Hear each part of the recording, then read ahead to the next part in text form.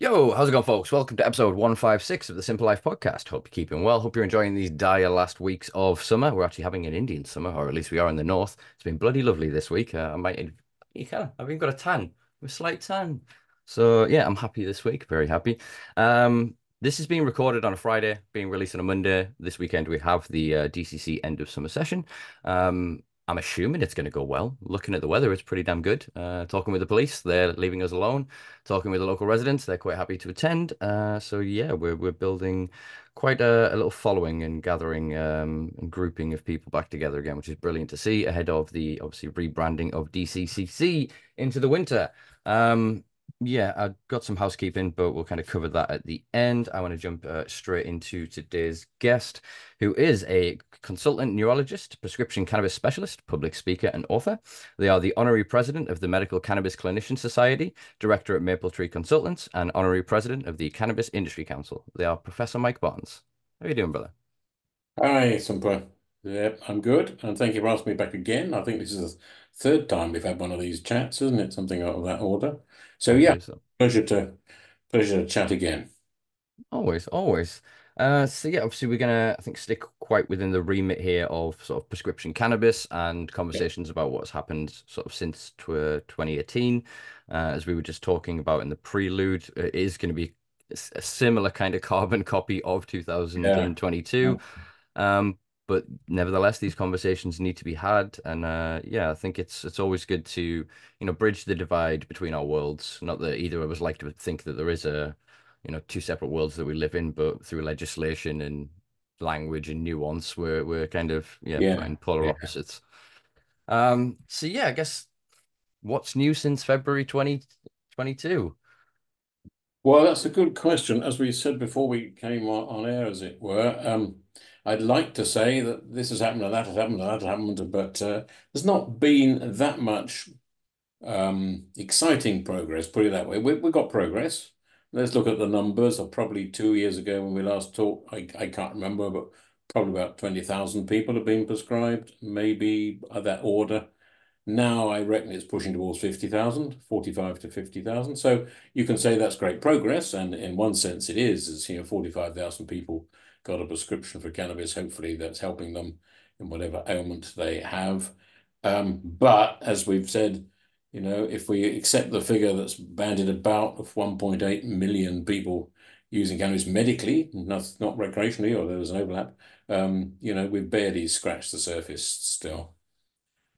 Big choices now, uh, 42 online clinics, all wow. online. Um, I don't know how some of them make any money because there's, uh, you know, the, the, the, demand is sadly not going up that much, but nevertheless, it gives people a choice mm-hmm. uh, of clinics. There's about 150 prescribers now, and as you know, they're not uh, they're not all uh, medics. The pharmacists and nurses are now coming uh, into the forefront, which is good, I think. Um, so that's progress as well choice of product, you probably know more than I do, but there's now um, 200 plus products in the UK, big range, um, probably pushing 75%, even 80% flour and 20%, 25% give or take oil. So what we haven't done is give people other formats, which may suit some you know, like tablets, like sprays, capsules, creams, particularly creams, I think are good for skin conditions and arthritic conditions, suppositories even for people with you know, pelvic cancer. So all those other formats that are around a little bit in the CBD market, uh, and of course abroad, Canada and the US, a wide range of different formats. And we haven't got that yet. There's some coming. I think that's a pity that it's all flower oil dominated still, and there are some people who are more comfortable with those other formats and will benefit from other formats. So that's something that hasn't progressed very much. Quality, what can you say? I think quality is on average probably better than it was when we last talked two years ago. I mean, we all know there's some good quality products on the prescription market and there's some not good quality products in the prescription market. I think probably over on average, the quality has improved. I don't know, you can differ with that, Simpa, but at, I think I would agree. Which um, cost is sort of holding its own. average cost of um, the average cost of flour these days for prescription is about seven pound to seven pound fifty average. It varies a lot, and depends where you live in the country. That's broadly compatible with um, street price. Again, it depends a lot where you live. So the the costs are sort of holding their own, which is which is which is good. Um, so overall, the quick summary of that ramble. Um, yeah, there's been some progress, not as much as any of us would have liked. And I think the big thing that I, I want to see is this is available free, and then we avoid all those discussions on price and cost, as it should be uh, on the National Health Service. And you know, when the government voted to change the law and back uh, nearly six years ago, for heaven's sake, I, I don't think it was in the in the idea that you could only only get it if you paid for it. So, and that's mm. the sad state. We've still got it's got five uh, NHS prescriptions at this point in time. There may be a sixth one on the horizon, but I mean, wow, you know, mm. six in six years isn't isn't a lot uh, to say the least. So that's the big thing that bugs me, and we want to do something about is get this on the NHS. Then I can finally retire. Oh, nice. Well, I look forward to a good retirement. Uh, yeah. I would like to be optimistic and say that those two time scales are compatible. Um, yeah. It's a close but, thing, sometimes. yeah, so yeah, boy, enjoy some semi-retirement, which I'm guessing okay. you are as, as, honorary president rather than chairman's. yeah, I don't have to do anything. Yeah, that's right. So, uh, yeah, it's let's kind of work backwards from this. Then, yeah, I agree. I think the the NHS thing is problematic. I think a big part of it is a hangover from this introduction of the consultancy class. No offense to yourself as a consultant, um, but yeah. th this then being brought into the NHS and this constant oh reform, top down reforms, and spending God knows how much money to bring in people to come and look at the whole thing. Go, oh, let's tweak this, tweak that, and I think the legacy of that has meant that oh well, there's no one in the NHS that knows cannabis. We've been saying for like half a century it's terrible, so we have to outsource this. And I think the yeah. financial incentive, whether it is intentional or not, it becomes well free, good, for, really good for the patient, but whoa, 13 quid a gram, that's really good for us. Um, you know what I mean? So it's I think the yeah, that tension, uh, yeah. Right. that that frustration. I think yeah, it kind of comes to something the Care Quality Commission said recently. Uh, they described the UK's medical market as a pseudo recreational uh, market which I thought was quite quite interesting. Um, and I think the reasoning for it seems to be the choice. The way you have a choice, like you said, of these 200 plus products um, in the UK is not the same as you do with prescription medications. Normally, you've got your doctor, you know nothing about this. We're not America or New Zealand where the advert comes on and goes, "Ask your doctor today if cannabis is good for you." You know, we don't we don't have that kind of leading yeah. thing. It's it's you yeah. go to the professional, you defer to their expertise. But in this instance, I think with that lack of education, most people go to their doctors and the doctor begrudgingly or the receptionist begrudgingly gives them their summary of care, knowing that, oh, you're just using this to get drugs. Because the yeah. education isn't yeah. there in the NHS. It's no, you're right. Duplicitous. I mean, I'm still bumping heads with people in psychology. They're like, "Well, you can't use cannabis," and I'm like, "I'm prescribed cannabis." And I'm like, "Oh, well, we, we think you're gaming the system," and it's like, you do know what? This is the easiest thing in the world to grow, and probably apart from cocaine, the easiest drug to access in the UK right now. Yeah. So it's. I think there needs to be that that alignment and that uh parlay between stakeholders and and policymakers, and until there's a financial incentive, I don't see that, and that's where I think I brought this up last time we spoke. My yeah. dream is let's make the NHS grow weed, so then it's it's not loss leading. Ha- have a recreational market and get the NHS quality weed sold at that price and subsidize all of the healthcare. Yeah, and what they haven't realised, and there's now a couple of since we last spoke, there is a mainly a paper on pain that actually showed, not surprisingly, that uh, introducing cannabis for pain was cost effective. It would pass the NICE, I, I don't like NICE much, but the NICE standards of cost effectiveness. It was better. It was as I'll rephrase that. It was as good as a painkiller as most other things on the market, not especially better on average, but the side effect profile is hugely better. Mm-hmm. And you can save money because some of those um, analgesic drugs um, are just damned expensive.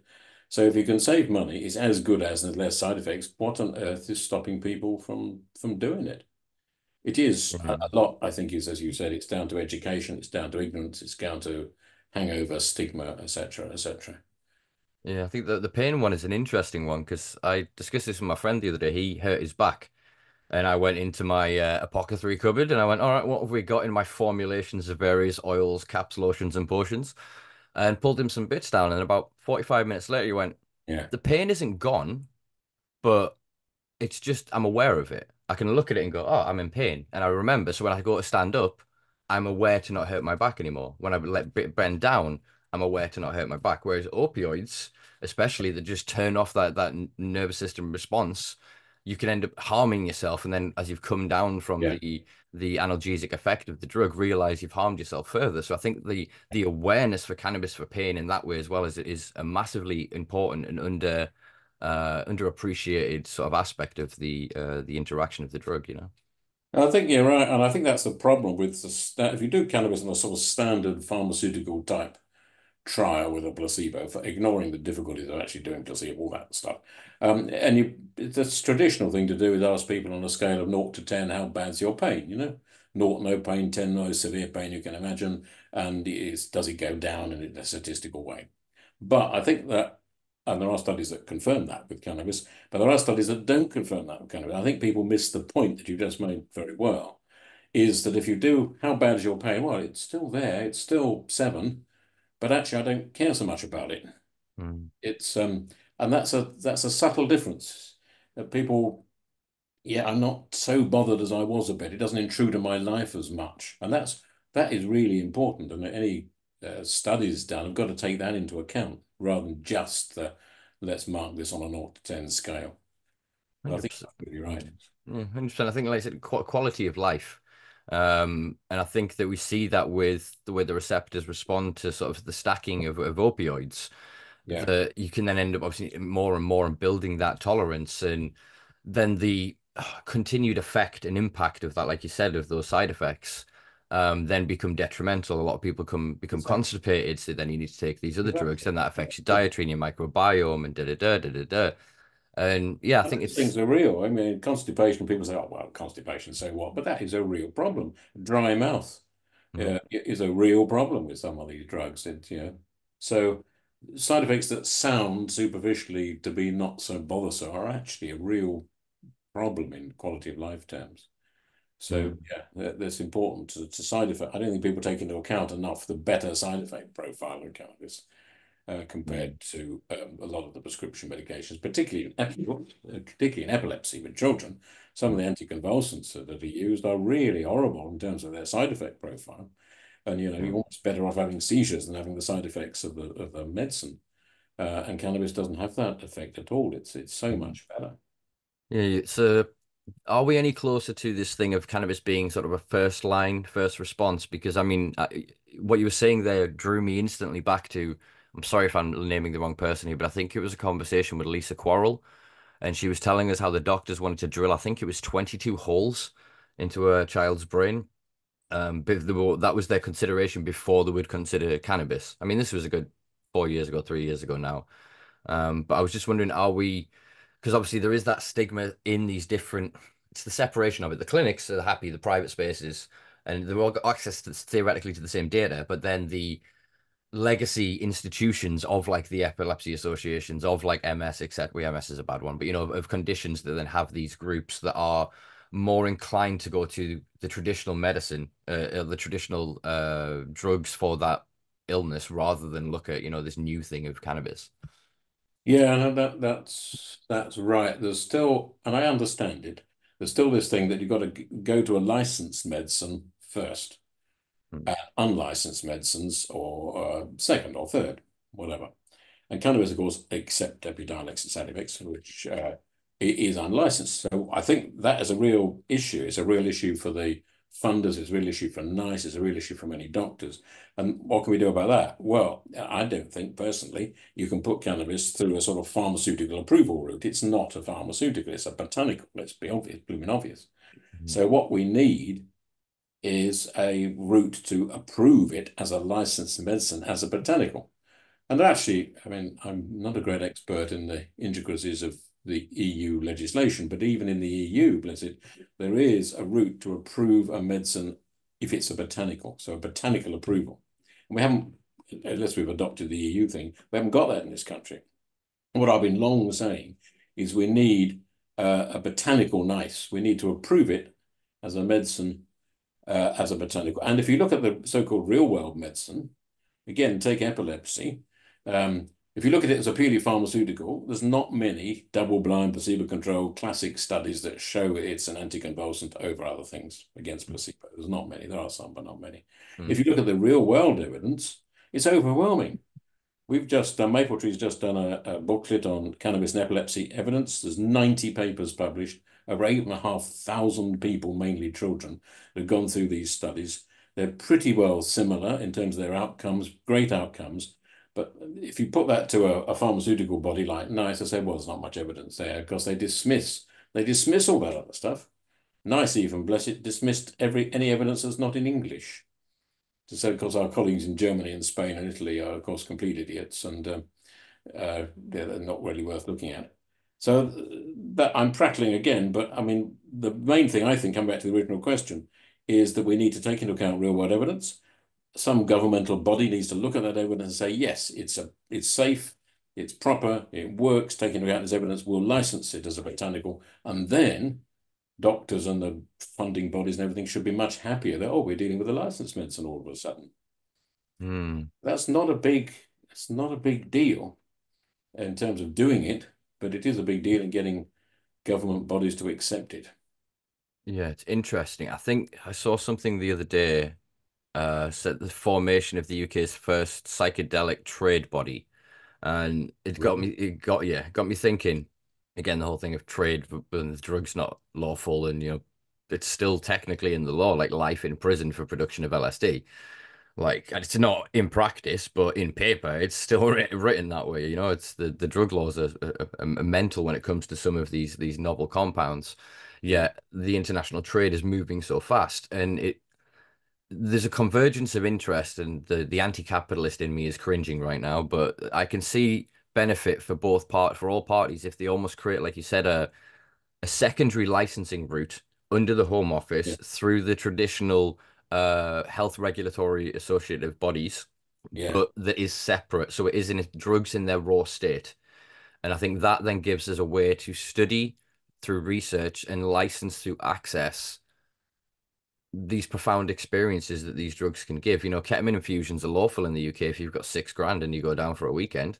But if you you sneak a gram of ketamine into a festival, whoo, you know what I mean? It's I I think there's a way to bring those things together to have that sensible yeah. because it's all about responsibility uh and I suppose insurance, I guess, in a way, like who is ultimately responsible for the actions of individuals. I'd like it to be, well, I'm over 18, I'm an adult. It should be assumed what yeah. I consent to, I'm allowed to do.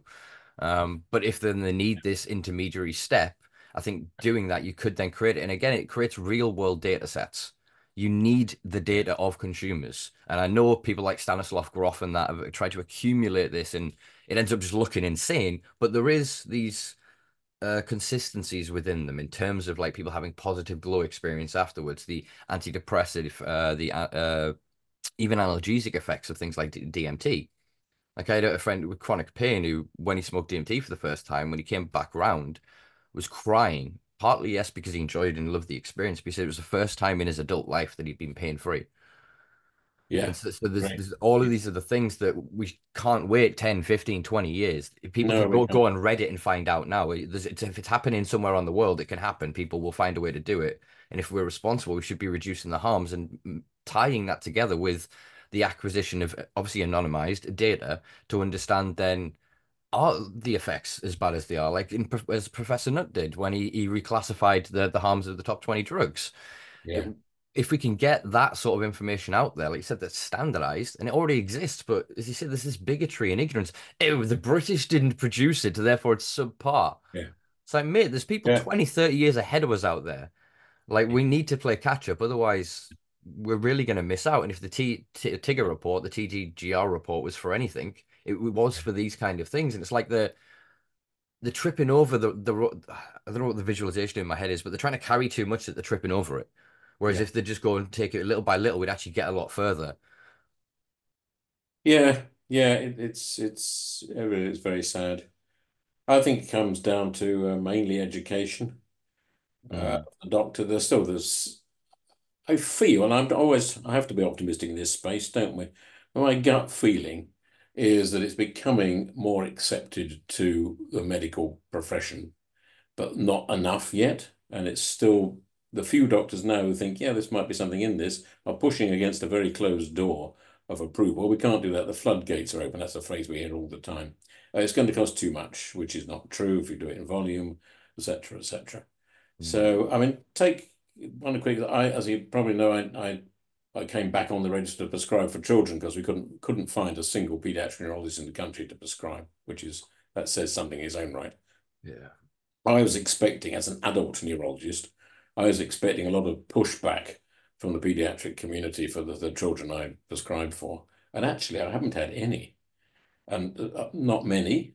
Um, but some have written to me and said, "Yeah, thanks for doing this. Um, the, I know the child's better. I can't prescribe it, but you can." So I've actually limited way. I've got not the negativity I thought I would get. I almost certainly would have got two years ago, three years ago.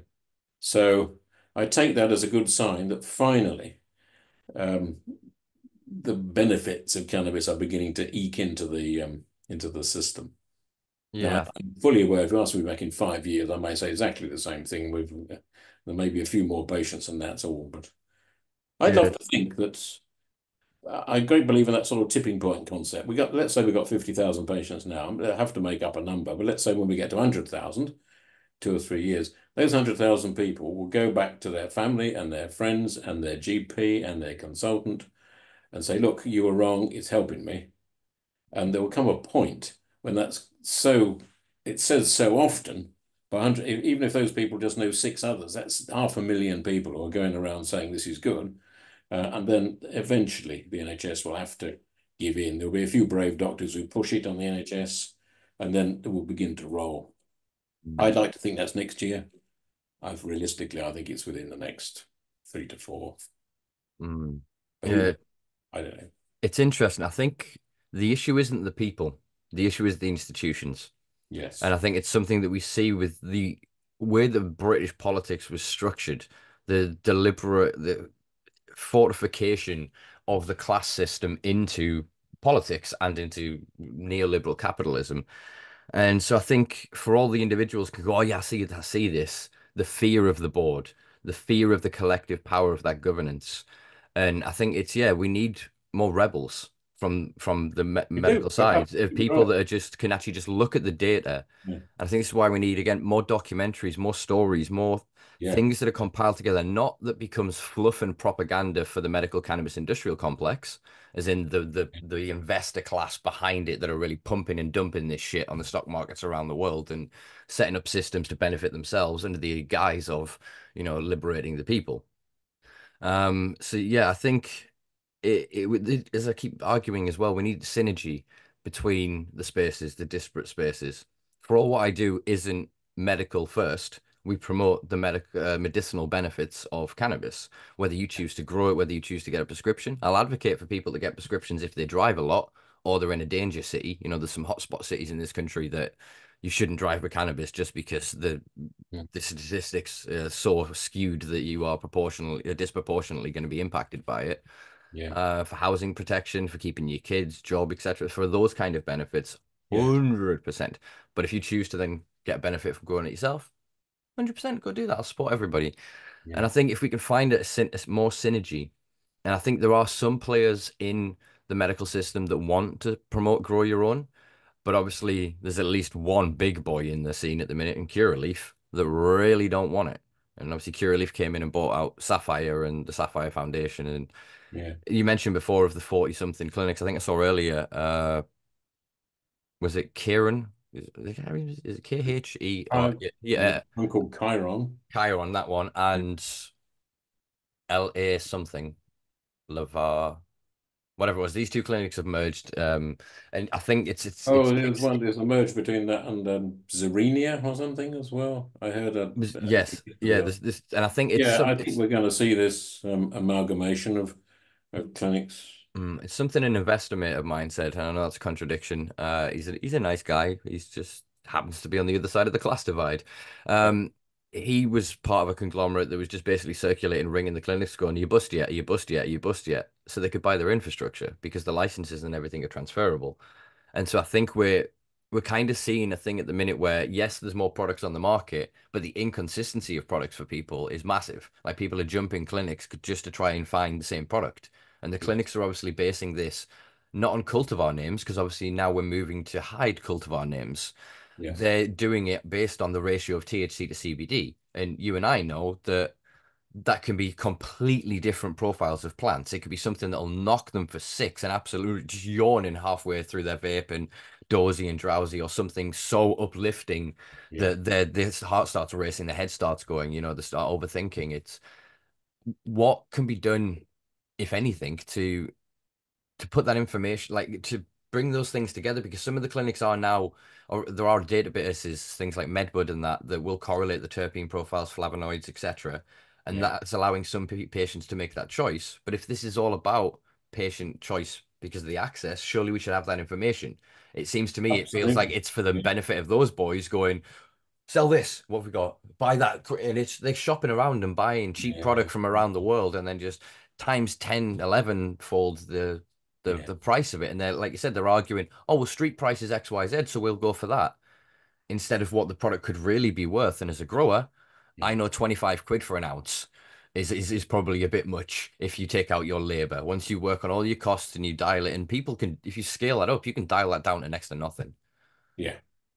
So I it's agree about the, I mean, as, as, as again, as you and I know, the minor cannabinoids, the terpenes, even the flavonoids, which you don't hear much about, all have their medical benefit. And what I what I've long advocated for is not focus on the on the single, let's call it strain name, which means something. Of course it does, but it doesn't tell you anything much. Uh, you, what you need, I think, but feel free to differ with me, Simpa, is the is what is the certificate of analysis thing, which sounds too a bit too scientific, but it actually all all it all I want to see is the is the chemical composition of that particular product, the, the chemovar, what's in it, and that's what determines its effect.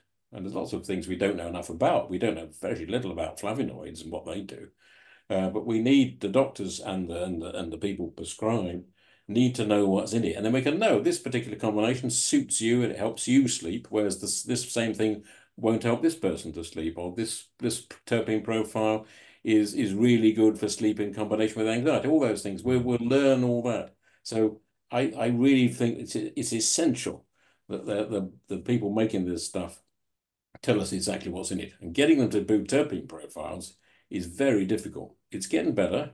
They didn't do it because it costs money and they needn't do it. It's not compulsory. You need to know that there's no heavy metals. Obviously, you need to know there's no microbacterial um, contamination. Sure. And you need to know the headline THC, CBD. Sure. But you need to know so much more than that. And because you don't have to do that, a lot of people don't do that. And I think that's a great shame. We need those cannabinoid and terpene profiles much more readily available. Mm. I think also as a as a grower and a long, well, very at this point, very long term consumer, the grow medium impacts as well, and we still are not really sure of what is the standard protocol because there isn't one. So it should be, like you said, almost the guidelines by NICE or somebody like that should be okay. It should be grown in this medium. It should be using with this newt. It should be following a rough cycle of X, Y, Z because there's so much contradictory science, so much what's called like bro science, or I suppose grow science or bro grow science. Um, and people go, well, this works for me and this works for me. And it is so nuanced, like microclimates, pH of your water, your EC conductivity of Yeah. your grow medium. Like there, you What can really, you shine and that sort yeah, 100%. So you can really get into this. And I think what you're saying about the batch testing is, again, all of this, this is where AI and cannabis should be in synergy for, for business. Yes. Is the, there was a system that I was introduced to maybe about eight years, seven years ago now, and it combined like lidar and laser and loads of different stuff, and it was like a crop monitoring system for like fields. Yeah. Um, and the evolution of that technology could lead to a point where it's registering the profiles of the plants at all times because if, if it's got enough uh, sensors to then read the yeah. different profiles at different times, it then starts to create huge data sets around each cultivar. And if then they're going into standardization of production of then one mother cut out rather than cutting and then a cutting, then a cutting and, and risking, again, we don't know if genetic drift is real. Some articles and some studies say yes, some say no. But if you have a, a unique batch testing, obviously there'll be difference between the lower and the upper of the plant but if you could use this technology to go okay if it's been harvested from the top third it's on average going to be xyz if it's yeah. this it's going to be this it's going to be this and through yeah. that it's because of cannabis being so different like one plant might have been just outside of that airflow but just inside of this one enough that then the light cooled to two degrees extra and this changed this and that yeah. like it's so new but the tech could then start to understand those differences. And like you said, then on the other side of that, the AI tools and algorithmic uh, learning machine learning programs should be used to, and again, anonymize uh, anonymously correlate the data of of patients of every other data point that you can come up with, because there is going to be something we will find out in the future, a long time from now, when the bigotry and the wars are all over. Um, of how cannabis affects each endocannabinoid system. I don't believe that it can truly be that we are as unique as snowflakes as it's stated to be. I think there must be something that okay, we actually now understand that if you take cannabis on an empty stomach, it'll increase this to this percentage or reduce this. If you've eaten this oxidizing product within 48 hours, it'll do this. If you so we can really start to understand the nuanced effects of yeah. of, of cannabis because again as a long time consumer i can smoke something that i've grown for years and know its profile and it just suddenly hits me different one day, and you're like, "Whoa, what was that?" And you're like, "Ah, I'm under. I haven't slept really well the uh, the previous few nights. You know, I haven't eaten. I haven't da da da. Maybe thirsty. That's why I've got an extra cotton mouth. But like, and you start to understand your yeah. personal interaction with this, as you said, yeah. this botanical, whereas the pharmaceutical is almost the opposite on the spectrum because it's so standardized, whereas cannabis is so variable in its nature. Yeah, and I think a lot of the potential prescribers can't get their mind around that. They just don't understand that it's it's pseudoscience to them in a lot of ways, but because as you said before, with the pain thing if they're not aware we they are aware, and some studies do talk about it, and and especially people that work in uh, like end of life, the quality of life is really the thing you start to to focus on, and I think it almost needs to come to this point of humility. I've described it before as physician supremacy, of this idea that doctors are almost taught this. Well, I'm 10 years of education. You know, I went to these schools and, and all these other things that kind of fortify their ego and their sense of identity, and that no, well, I'm professional right about everything else. And then you come to me with this plant and say it's magic. Like, no, no do you know what I mean? I can understand it. Yeah, I think it's, it's sad. I think you, to generalize horribly, and there's some really good doctors or open-minded. Of course. There's a, there's a load who are frankly arrogant. Um, and how dare a patient come and try and tell me what to prescribe? Um, and that, that is a real issue. And it's sad. It doesn't just apply to cannabis, it applies to a lot of other things. Um, and my view of the medical profession has changed a great deal, I have to say, in the last five or six years since I've been, if you like, on the other side, as it were. I've seen the appalling arrogance, stupidity, and prejudice in many, not necessarily individual doctors so much, but their, their representative bodies. You know, like the British Pediatric Neurology Association, I, I do enjoy uh, criticizing them at every possible turn, but you know, they're just, their, their minds are closed. How dare anyone tell us what to do? Where's the evidence? All this stuff comes out. And that, mm. that makes me really sad that medics should be excited about something new and excited about this plant, which has so many potential uses.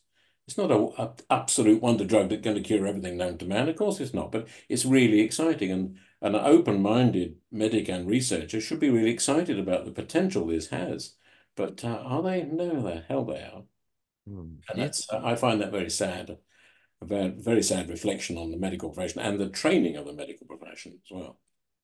Do you think this is almost a problem that solves itself with enough time that as the older generations kind of die off regardless of institutional education if all their neighbors are growing weed smoking weed if they go to cannabis events like mine they're you know at festivals and people are taking drugs and they maybe dabble in some things while they're in university like i, I think that that kind of it's going to close the gap. I just worry about how much damage further damage is done to society and how many more individuals suffer as a consequence of this ignorance. Yeah. I quite agree. I mean, in 20 years, let's be very pessimistic for a moment. Yeah, we'll get there. There's no doubt. I mean, the, the global progression is happening, slow but sure. There's Thailand, there's Germany, you know. Um, now there's uh, well over half of the states, whole of Canada, etc., etc. We know all those figures, and they're yeah, the realization that it's not an appalling thing and everyone's going to go psychotic in the streets is beginning to filter through to people. And it will happen in this country. But I think sadly, the UK is really, although UK establishments are very conservative, I'm more conservative than most um, countries. I think we'll be certainly the back end of that queue. Mm. I, I, would like to think we're not the last in the queue, but uh, you know, it will happen. It will happen. But uh, it's not fast enough for me, and it's not fast enough for you, and it's not fast enough, more particularly for several million people who might benefit. Entirely. I think there's a certain irony in that with people like the uh, Liberal Democrats now saying they want a new economic union with the EU. I think uh, Germany is going to prove, along with Malta, Switzerland, even though they're not part of the EU, but various other nation states as a on the continent, as it were. Yeah. Um, when the bloc decides to go, they're going to go big. And I think this country, we should be smart and be from the outside looking in and go, all right, you want weed? We'll give you weed. Do you know what I mean? There is you fly on a plane in this country. There is umpteen amounts of land that is just not doing anything in this country. Yeah, we can argue about cyclical farming or whatever, but with government paying for subsidies to not farm, things are pretty fucked. Whereas for cannabis, we could plant it, capture all that CO2 that we've got a problem with, get rid of ULEZ and all these other bloody problems. Yeah. Like I said, the NHS could be the primary financial beneficiary of this, plus then getting the best products. We then export that to the, Europe and the rest of the world, and we become a powerhouse rather than a victim to the success that we built. Frankly, it's the UK that really pushed this forward. Yeah, yeah. granted, GW, and what they did, and there's a lot to come out and will be coming out in the future about the uh, supposed and alleged conspiracies and criminality and potential, well, really immoral actions of certain individuals. But that's for another episode with another day.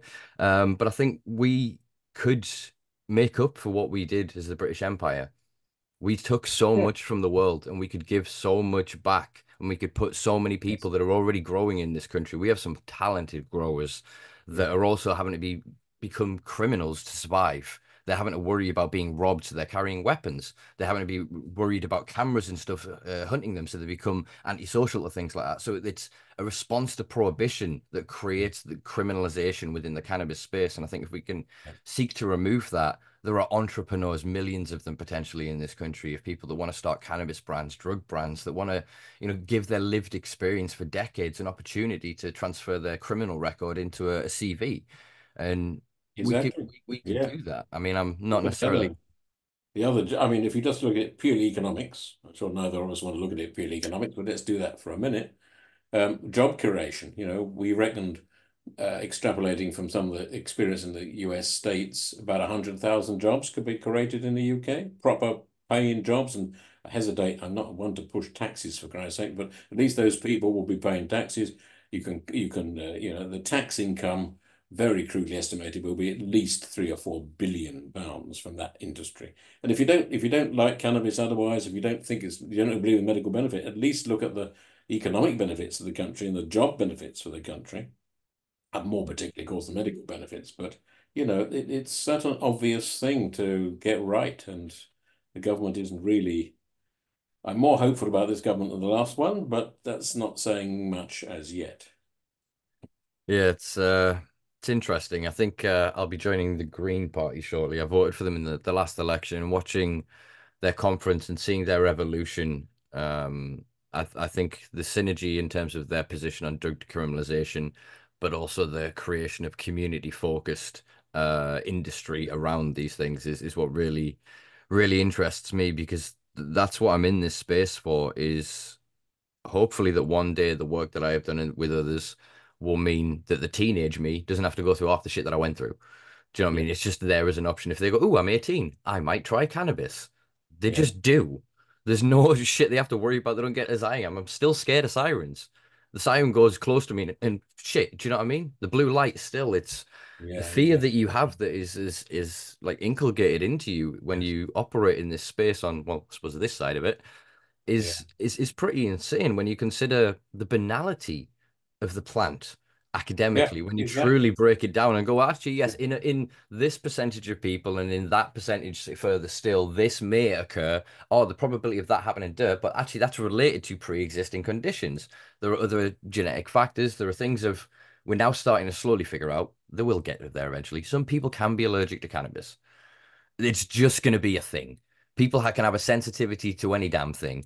So they can produce their endo endocannabinoids endogenously and have that production. Obviously, phytocannabinoids mimic this, but then the introduction of them, it's like left hand, right hand molecules. There's still something that means the body might yeah, not, not, uptake them. Not right for everybody. I mean, no, mm. no medicine is ever right for everybody. There's some people who shouldn't take it. Some people react badly to it. But those numbers are actually very, very small. They're there. Of course, they're there. They'll always be there. Um, but, you know, it's a remarkably safe medicine basically remarkably safe compared mm. to most other things available. And I think with the consequences, like we said, it should it should the assumption should be the other way around. It's fine for everybody until it isn't, but then have the infrastructure to go, oh crap, you've had a okay, let's okay, you had this, this happened, here's the procedure to deal with it.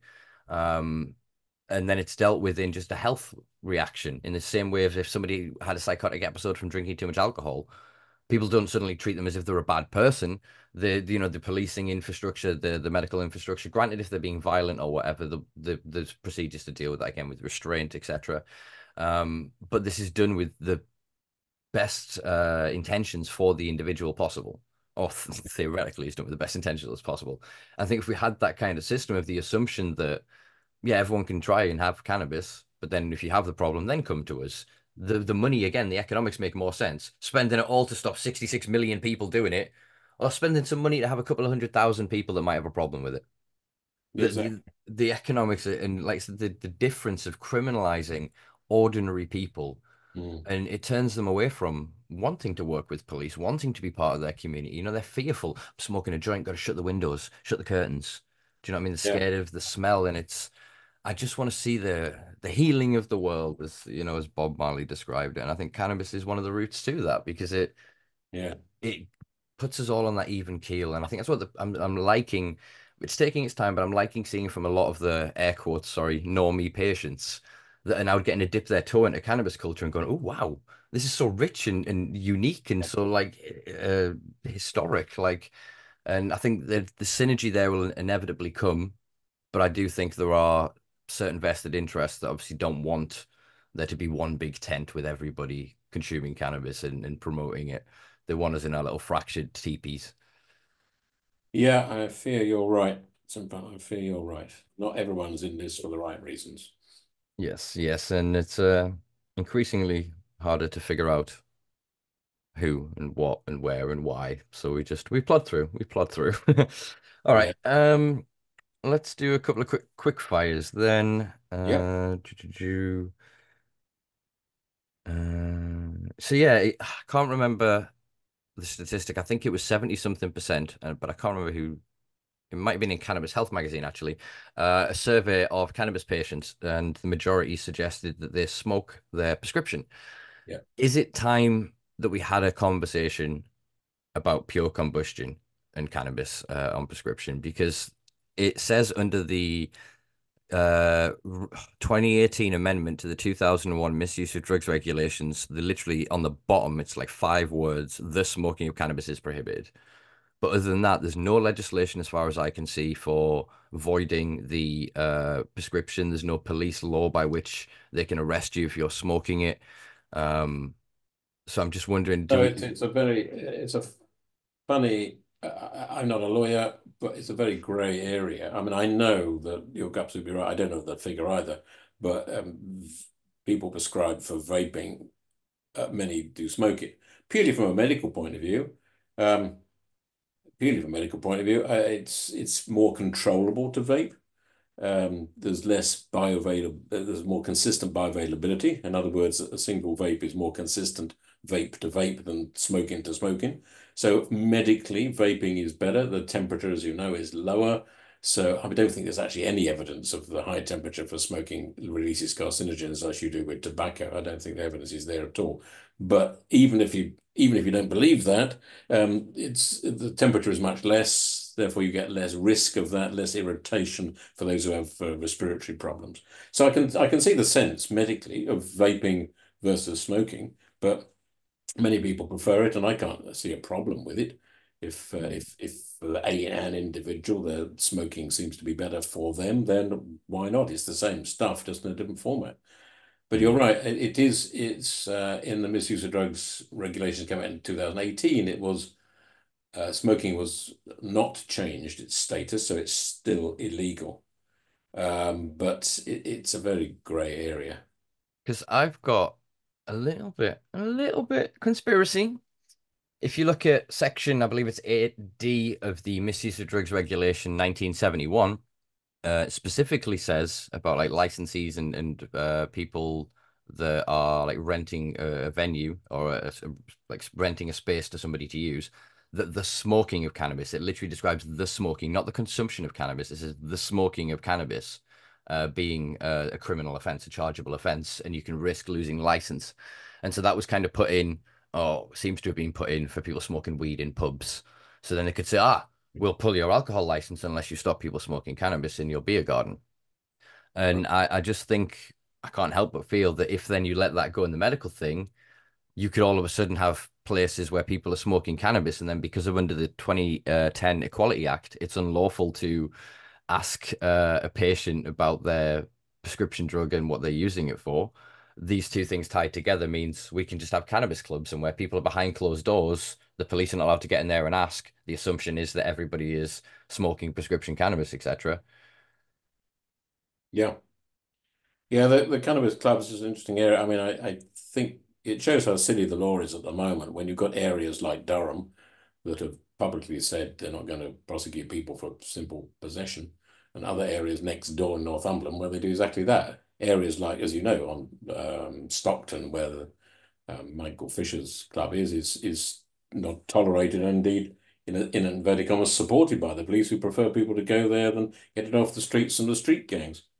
Mm -hmm. So no law is a sensible law if it's in, interpreted in such hugely different ways across the country. I think there's now six police areas where they openly tolerate, if that's the right word, the cannabis clubs, mm. and other areas that uh, clamp down stupidly. There was a court case I was it did settle out of court last week, um, where the guy was just growing, I think, six plants for his own personal use, and he was taken two and a half years to get it to court. I mean, for that's what a waste of a waste of time and energy and effort. But if it, if he'd done that in Durham as opposed to where it was, then you know it wouldn't have been even prosecuted mm. at all. So the whole the whole thing is a is a frankly a mess, and the government needs to realise it's a mess and get on and sort it out.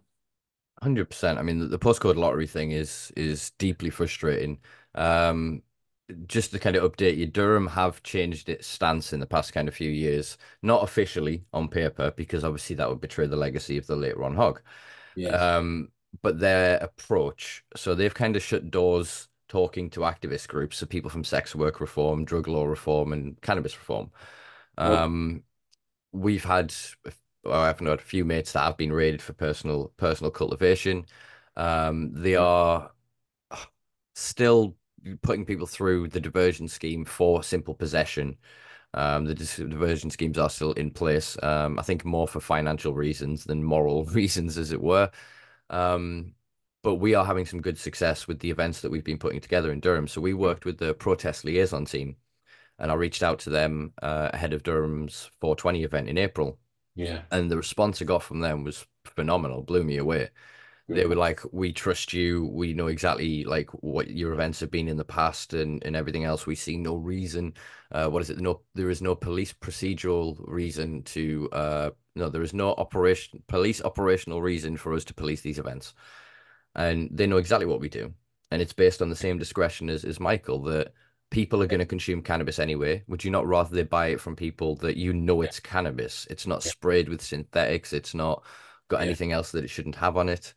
Um, and that's leading us to a position of ex exactly the same thing that the individuals I'm speaking with in the police are interested in the concept of, well, if you're all in one space, because yeah. I just pitched it to them, like you can either trip over people in parks all around the county, you can find them in car parks, you can, you know, find them in the back housing estate, you can just diffuse consumers because they've got nowhere safe to be. Or you can have a space where you know they're getting, you know, harm reduction education, they're getting the best up to date yeah. information and they can socialize, they can connect with each other, they can, you know, talk about best practice and best approach and Yeah. learn from each other, which I think is is something intrinsically important um, to Yeah. this space is community, and it desperately needs rebuilding in the wake of the law change because it's it's Yeah. set brother against brother, sister against sister, as it were, and it's it's all got a bit messy. Yeah. Um, Yeah. one of my other quickfire questions there was actually going to kind of touch on it there was synthetics.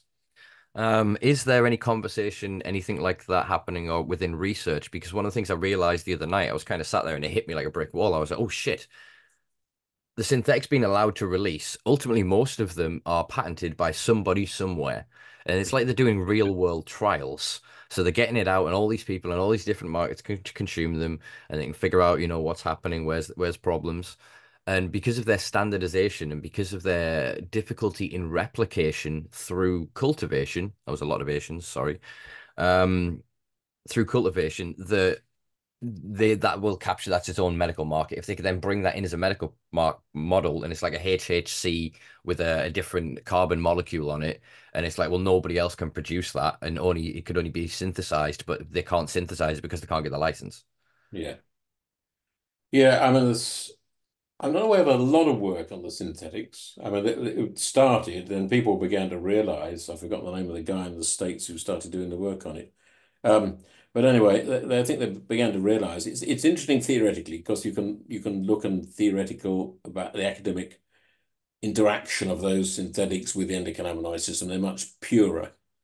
Hmm. So it's of theoretical and academic interest. In practical terms, as you know, I, I they're more dangerous, far more dangerous, a lot more side effects. And of course, you miss out what I'm a great believer in is the, the subtlety of the plant. It's, uh, you know, the, the, the entourage effect is perhaps a bit of an overworked term, but I think we both know that the minor, the other minor cannabinoids and the terpenes, as we said earlier, make a real contribution. If you try and pharmaceuticalize it, um, and a, if that's a dreadful word, but I'll keep using it. If you farm for pharmaceuticalize, because it's much easier, isn't it? That people will say, "Oh, it's much easier to have one single model. You know what you can do. You can compare it to placebo." They're trying to farm. They're trying to make it a pharmaceutical product. They're pushing it down that route, and it is not a pharmaceutical product. No many times I've said that. Um, it's a botanical product, and you, you miss the subtlety. So actually, I I don't support um, the development of the the medicine from synthetics because I don't think they're going to, they're not going to work as well if you compare Epidiolex, even at a simple level, uh, which isn't a, a, which isn't synthetic, um, but it's a, it, nearly pure CBD. You compare its effect on epilepsy to the proper plant, and it doesn't work as well, and it's got more side effects. And you take that further along the line, and the synthetics, they're not going to work as well, and they've got even more side effects. Why bother? You've got a plant that's really good. Use the plant. Okay, use synthetics for an academic progression of our scientific knowledge, fine, but not as a medicine. No, agreed. It's it's interesting because it's I do fear that on paper, those same institutions and kind of what we've alluded to through this conversation of the certain academics may look at that and go, okay, I will take a lower efficacy for a higher consistency. And if they're then discounting these pseudoscience, that's not the data. I've been trained that here are the six data points you have to deal with. Yeah. Anything else outside of that is an anomaly, a variable, is something to be calculated away. And I think it's just like I said, it's at that time, it's just a race of this new generation, and that could have be of all ages. I just mean in terms of like a new wave, a new movement. And then there is this this snail slogging along of those systems going and they're slowly bringing bits in and putting it together.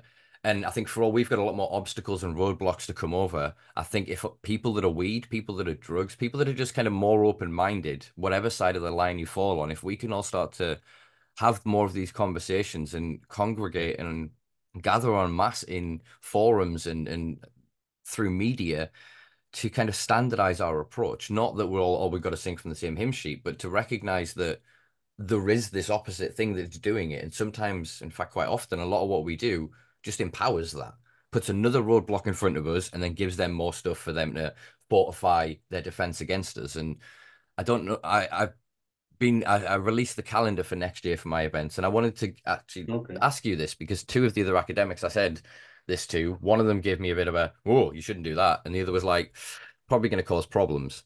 I wanted to do a farmer, PH farmer versus farmer, F A R M farmer Yeah. Um, and it not verses in like a battle. I was just like the the language that fell together Yeah. in my head. But it would be a, a panel, a day long series of panels and talks with representatives from kind of all sides to discuss the synergies. The, the things that are the same. Yeah, we can talk about the little bits that we create. Oh, the, the language and linguistics means that it's different. No, it's the same damn thing. But if we could um, promote that and show that, okay, I've got 30 years doing this in the field, or I've got 20, Yeah. 30 years doing this in the lab. Yeah. I think there needs to be these kind of more synergistic events. But I fear Yeah. that the majority of the money, uh, no offense, cannabis fucking Europa, um, but a lot of the money where that ends up going and the events that they create are exclusive by their nature. Do Yeah. you know what I mean? And so the the more that they can grow and progress in that way, the less people partake in it. And it's like what's going to happen with AI, feeding AI and eating AI until eventually everything becomes gibberish. And I think that's where they're going, is they're starting a circle round. And some of them, again, will be like we were saying before, people that are of interest, that are really curious to see what this could do to help others to change Yeah. the world and to Yeah, make a better society. There's too much us and them at the moment. Anything you can do uh, to to put together in the same panel the PH farmers against the F farmers. Um, there's a title in there somewhere, isn't there? Um, would be great. I mean, I'm sure there's a lot of people who do, who aren't so antagonistic to each other, but they're they're kept down by their either their own prejudice or the prejudice of their peer groups around them. You know, a pharmaceutical guy. Go, I'm going to go on a panel to talk about cannabis with people who've been growing it for years. We'll probably get a lot of lot of shit from his some of his colleagues, so they don't do it. Mhm. Uh, but you know, the more we can do that, the more we can break down those sometimes very artificial barriers between the different approaches, the better. So, yeah, go for that. Okay, well, look to do Yeah, something si- yeah, similar to what we kind of did in Bowburn Hall, Hall, but a bit bit more of a larger scale, um, and do a live stream, etc., and have audience questions. I think uh, I, I want to put something together like that that is purely Yeah, educational and it's not it's it's the opposite of confrontational it's true discourse it's Yeah. not us actually like bearing down on each other and oh you're this you're that it's here's what i found here's what i found All right, let's put it together and see what it is A sensible and dare I, it's an old-fashioned word, but polite debate because there's so much um, on Twitter. I think I, I hate that medium, but everyone's so angry on it. Let's Mhm. have a little less anger and a little more cooperation. 100% 100% there is great synergy there to be found Yeah. um interesting one uh last october the uh fsa reduced the cbd daily limit to 10 milligrams Yes. thoughts on that? Because to me, it seems absurd. It's a complete and utter bollocks.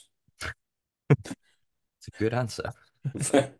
There is absolutely no shred of evidence that backs up that statement. After all, their own, they originally said 70 milligrams Mhm. on no evidence.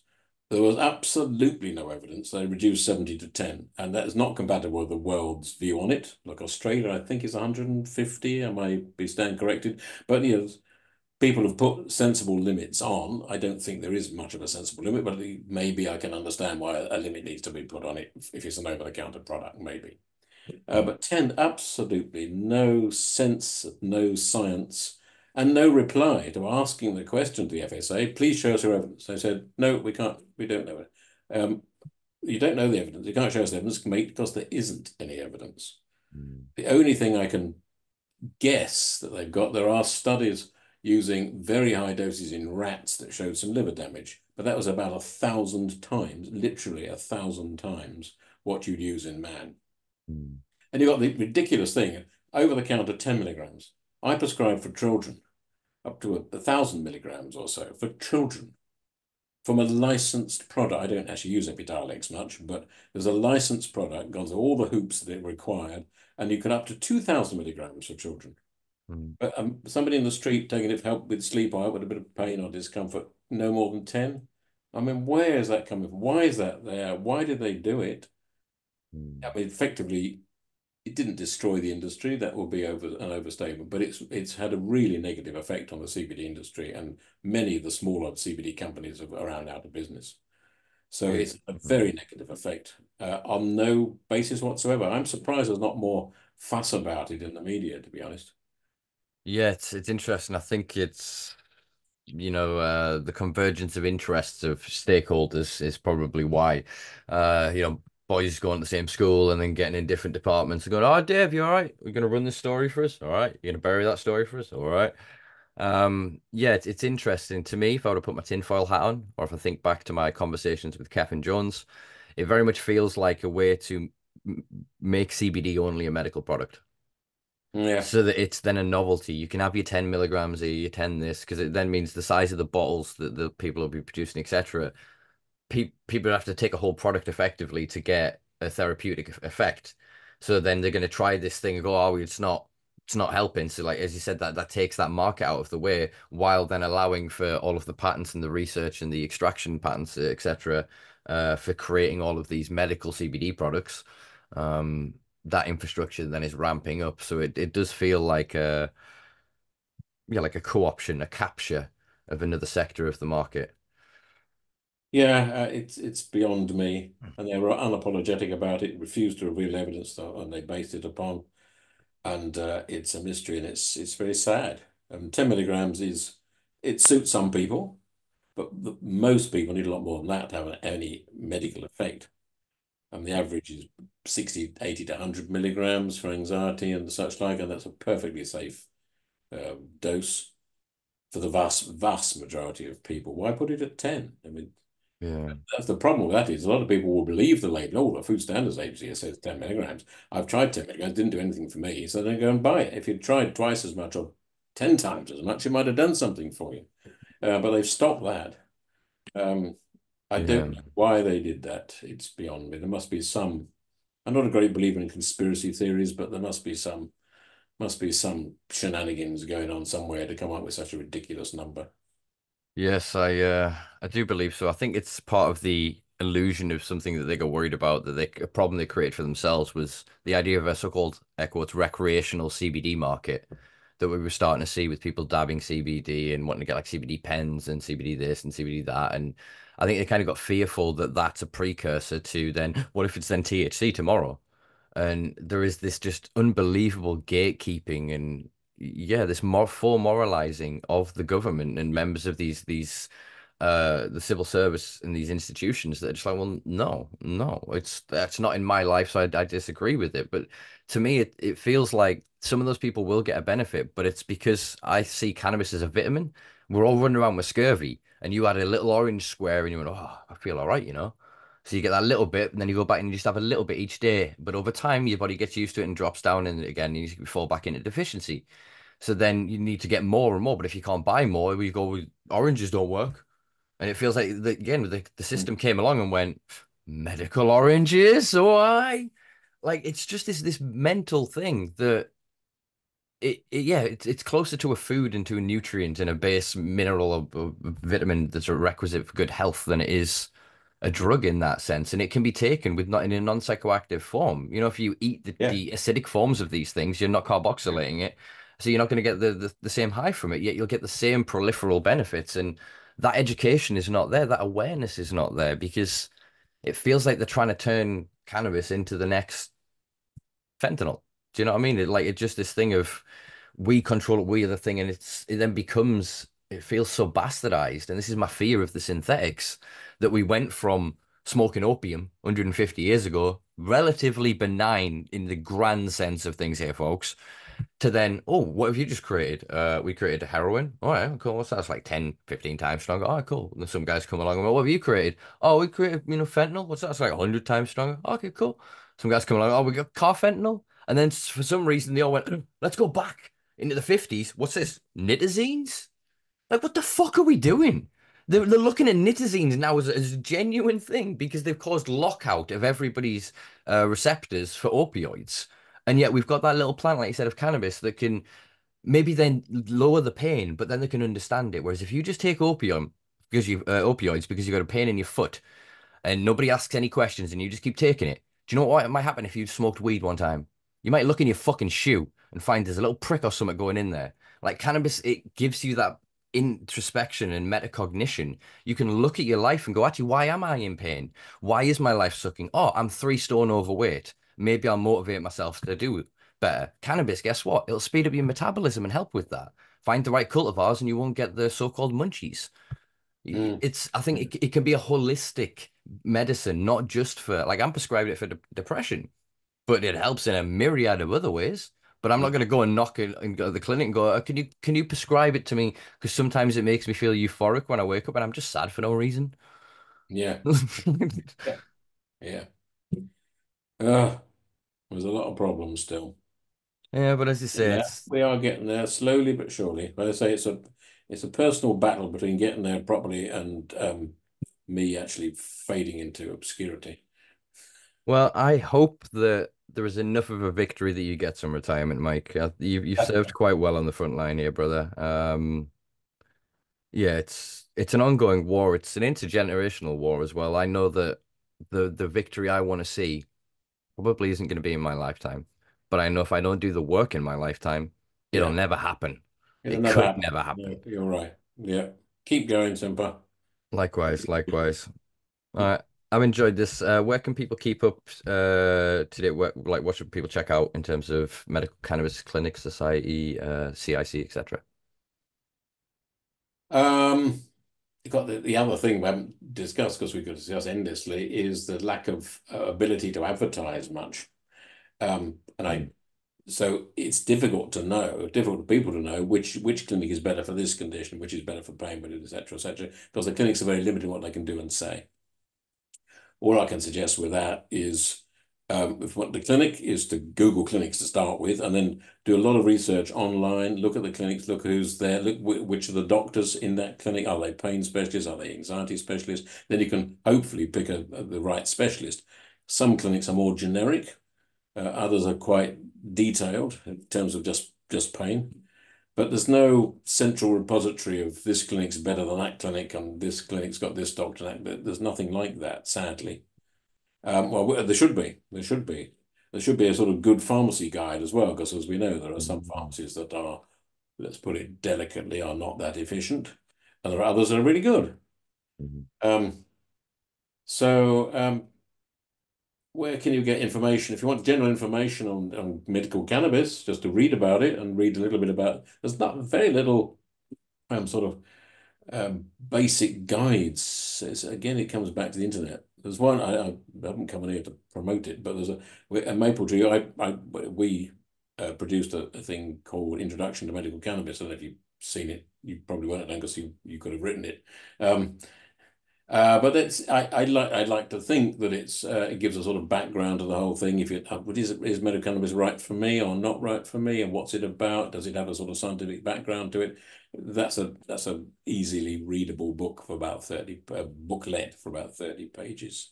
Mhm. The Maple Tree website, but uh, so I, I don't want to promote that stuff. But uh, there's not much not much to promote actually. Mhm. Um, the Medical Cannabis Clinician Society, it, obviously it's a society by clinicians for clinicians, but they produce quite an interesting range of books that are free um, to how to prescribe it, what's the questions about CBD. So their their website's also worth um, looking at. And the CIC produced some, but the latest one was um, a booklet on employers. I don't know, housing, wasn't it? I think. Mm. Um, what are the what are the rights you've got if you if you if you're using cannabis in in your in a flat or a leasehold or whatever. So those three organisations and and of course there are others. Um, look at their websites. You get quite a lot of um, interesting, reasonably well written literature. Most of which is most of which is free. Um, and NICE. you know the other sites to go to. Ralph's uh, MedBud Wiki, I think, is a interesting site with, with gives you all the range of products there. It also lists the clinics and the pharmacies and everything. It does. They do a great. I think he does a great job in. Um, don't know where he gets his information from some of the time, but he does a great job in putting it out there. Yeah, no, agreed. Uh, I think good resources, and I think for anyone that feels themselves to identify only as a rec head, as it were, I say that uh, lovingly. Uh, do check out some of these resources because it's it's always good to see um, kind of where and how the space is growing in the different uh, corners Yeah, of have the a look sec sectors. So do, so do check it out. I'll include all links below. Um, yeah, been a pleasure as always, Mike. I will let you get off uh, to the rest of your day, and we shall. Uh, yeah, we'll speak next next year, but definitely sooner than last time as in the gap. Okay, we'll had. have to have an annual update, soon, but thank you for asking me. It's always a pleasure to, to chat through. Um, yeah, thanks again. See you in a year, if not sooner. Yeah, hope, hopefully I'll catch you beforehand. Uh, hopefully, Yeah. like I said, I'll, I'll be in touch about this event that I'm looking to put together. do look at that. It'd be interesting. Be good. Great. Thank you very much. No worries. All right, take it easy, Mike. Peace and love. Bye. Bye-bye. Bye. Well, there you go, folks. That was uh, Professor Mike Barnes. Uh, yeah, bit of a quick catch up, bit of a quick recording today. Uh, I've got so much to do uh, at the minute on other projects. I'm just about to go back down to Hemp Garden uh, to do another three, four hours uh, ahead of the event tomorrow. So everything's set up and tidy. Yeah, it's been a pleasure. I hope you've enjoyed this. I hope you found it interesting. Um, there's quite a bit on my notes here that I didn't get through that I kind of wanted to. Um, Maybe I'll get Mike back sooner rather than later, because there's some of these things. I think we could almost make an episode out of just a few of these conversations. So I might make something a bit more bespoke uh, and put an episode together into the winter. Uh, I'll definitely have a lot more time to be back to weekly uh, episodes, more record uh, recording, and back to creating clips and shorts, etc. Uh, once the summer's over and things calm down with the DCCC. But yeah, been a pleasure, been a privilege. Uh, check out the links below. And yeah, be good to each other. I'm gonna go do some more gardening. All right, uh, take it easy. Uh, if you really enjoyed this, please do give us a like, a share, a subscribe, a thumbs up, a heart, a rating, whatever it is you do on your platform to show your appreciation. I appreciate it and I appreciate you for it. Um, yeah, check out simpalife.com for articles, blogs, etc. Check out legacyculture.co.uk for more uh, diverse and interesting um, blogs and articles as well. Uh, yeah, I think it's about everything. Patreon, Patreon, go to Patreon. Uh, if you really, really, really enjoyed this, check us out on patreon.com forward slash simpalife.com, uh, where for less than a cup of coffee a week, you can help me keep the lights on on this little project of mine. All right, I'm out of here. I'm going to go garden, uh, be good to each other. We'll be back next week with, I don't know, somebody. Be awesome. You'll love it. I'll love it. All right, peace and love, folks.